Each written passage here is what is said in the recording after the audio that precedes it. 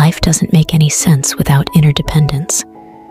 We need each other, and the sooner we learn that, the better for us all. Once you start making the effort to wake yourself up, that is, be more mindful in your activities, you suddenly start appreciating life a lot more. We are what we are because we have been what we have been.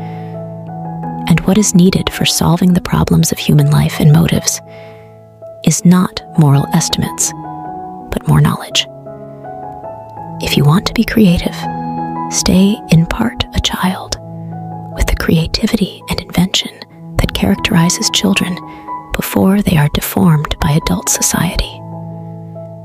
If you deliberately plan on being less than you are capable of being, then I warn you that you'll be unhappy for the rest of your life. Everything can be taken from a man, but the last of the human freedoms to choose one's attitudes in any given set of circumstances.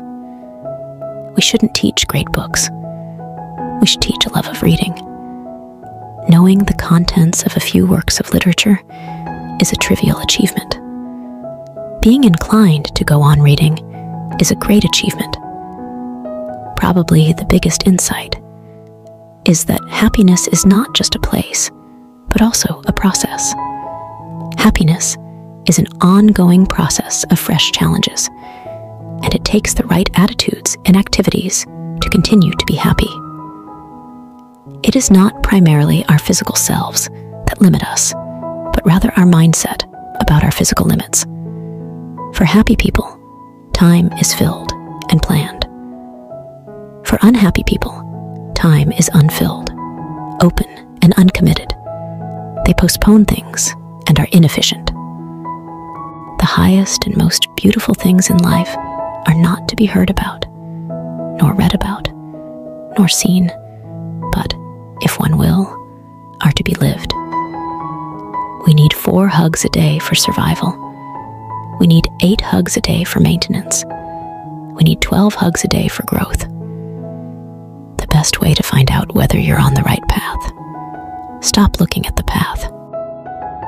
Every person on this earth is full of great possibilities that can be realized through imagination, effort, and perseverance. Happiness is not out there for us to find. The reason that it's not our there is that it's inside us.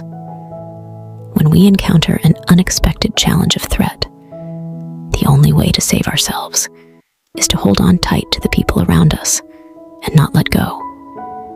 The truth is, bad things don't affect us as profoundly as we expect them to. That's true of good things too. We adapt very quickly to either. Even a happy life cannot be without a measure of darkness, and the word happy would lose its meaning if it were not balanced by sadness. Be content with what you have. Rejoice in how things are. When you realize there's nothing lacking, the whole world belongs to you. Compassion does not render people tearful idlers, moral weaklings, or passive onlookers, but individuals who will take on the pain of others, even when given the chance to skip out on such difficult action or in anonymous conditions. We are open to new possibilities, we find them. Be open and skeptical of everything it's more selfless to act happy.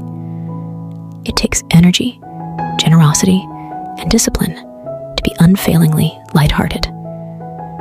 Yet everyone takes the happy person for granted. Happiness is the only thing that multiplies when you share it. Genuine feelings cannot be produced, nor can they be eradicated. Sticks to the facts. Becoming is better than being. I don't know what's worse to now know what you are and be happy, or to become what you've always wanted to be and feel alone.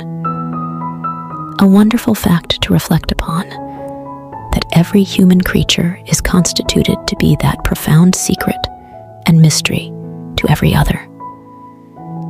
Our wounds are often the openings into the best and most beautiful part of us. The pendulum of the mind oscillates between sense and nonsense, not between right and wrong. We are such stuff as dreams are made on, and our little life is rounded with a sleep.